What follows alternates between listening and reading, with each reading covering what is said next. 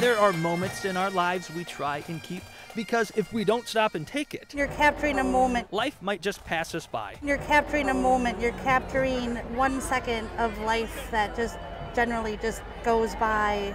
Jenny Anderson is waiting for one such moment, and while she does, she can fill in the rest. All of a sudden, you realize you've forgotten a whole building or something. Something that you've been staring at for three hours is not anywhere to be found. Anderson is a plein air painter. That's French for an artist who works outside. Painting what's in place is the easy part, adding movement is. I don't know if I'll be able to see them, but um, or if they'll just go by really fast. So hopefully they'll go by slowly. Working during the middle of a parade guarantees Anderson Studio has an open door policy. People are free to stop and watch the process. It's coming along. Yeah, I love the way uh, you know you build layers. Oh, thank you very much. Milwaukee's amateur art critics love her work.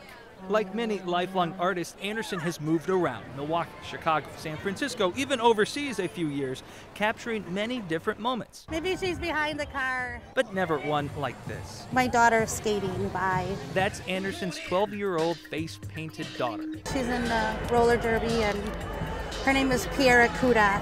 She's a real good kid. It's the kind of portrait perfect moment an artist or mother doesn't mind waiting for. A moment to keep, painted into memory. In Milwaukee, Jonathan Gregg, Fox 6 News.